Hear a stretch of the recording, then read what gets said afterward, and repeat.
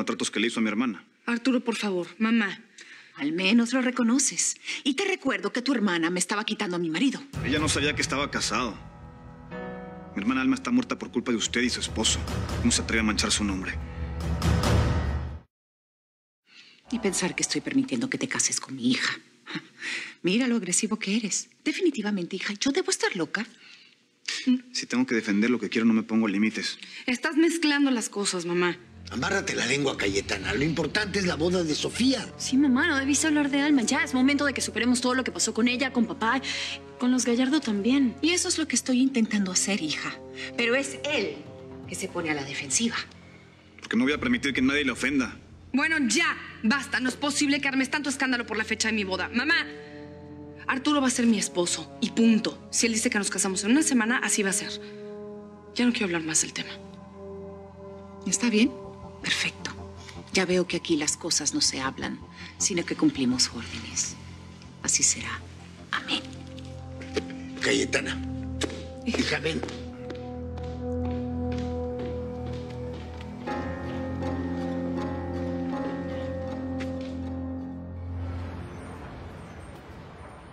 Si crees que me voy a sentir menos mujer que tú, te equivocas. Estás dando patadas de ahogado solo para tratar de hacer flotar una relación que ya se hundió hace muchísimo tiempo. ¿Eso es lo que tú crees, imbécil? A ver, muchachita, ¿qué vas a hacer cuando Samuel extrañe una verdadera mujer en su casa? ¡Suéltala! Oye, ¡ey! ¡Suéltala! Ahora entiendo por qué Samuel se cansó de ti. Es que no se puede vivir en una cama las 24 horas del día, Patricia. Una mujer es mucho más que eso. Pero claro, es lo único que sabes hacer. Cambiar de pareja como cambias de ropa. ¡Ey, ey, ey! ey, ey, ni, ¡Suéltame tú! ni se te ocurra, Patricia. Te quiero lejos de Andrea. Si me entero que te vuelves a acercar a ella, te la vas a ver conmigo. Qué ciego estás, Samuel. ¿No recuerdas cómo te trataba este imbécil cuando eras un simple obrero? A ella le daba vergüenza reconocer que le gustabas. ¿Ah? Pero ahora, como trabajas en un banco, ¡uy, qué conveniente! Apareció la señorita del Junco. Te recuerdo, Patricia, que tú me dejaste por esa misma razón. Porque yo no era nadie y no te podía dar lo que Ulises sí podía. Ese día te saliste de mi vida, así que vete.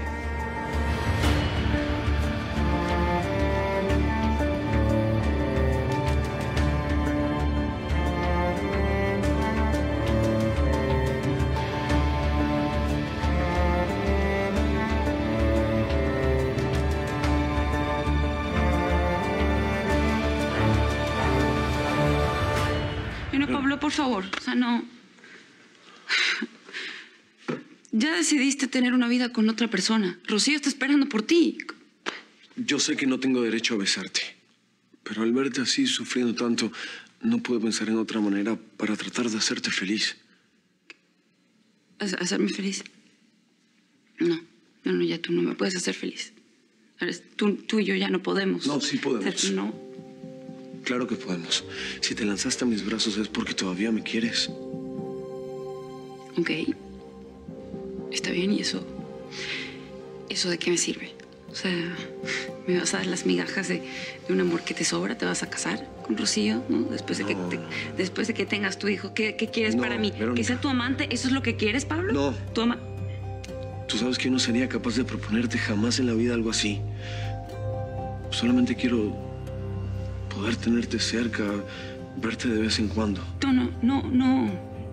O sea, ya no me hagas más daño, Pablo. ¿No entiendes? Mira, mi, mi madre fue una mentira. También tuve una vida de mentira. Y lo último que quiero tener es un amor de mentira también. Así que, por favor, vete. Vete, Pablo. Señorita Verónica la busca. Néstor, Néstor. Hola. ¿Cómo estás? Bien. Mira, em, Pablo. Sí, se conoce, ¿no? Sí, Capitán Fernández. ¿Cómo estás, Pablo? Em, me voy a ir a cenar con él. Así que me tengo que arreglar. Con permiso. Sí, de pronto.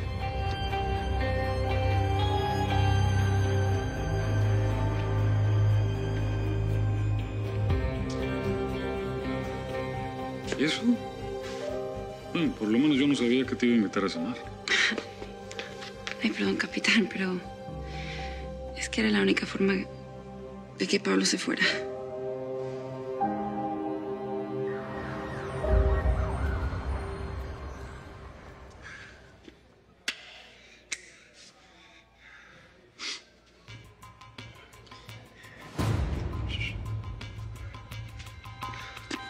A ver, la manito.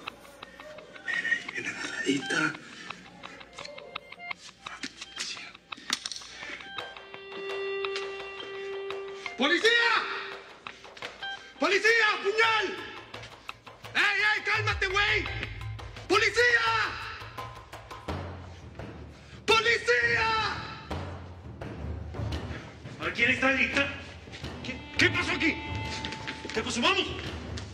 ¿Qué pasó? Este imbécil nos trató de atacar con un puñal, güey. Mira. Amor. Puñal.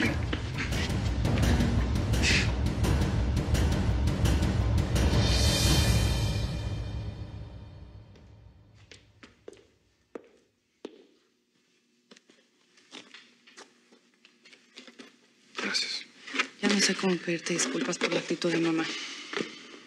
Sabía que esto no iba a ser fácil. Te juro que pongo todo de mi parte, chaparrita, pero...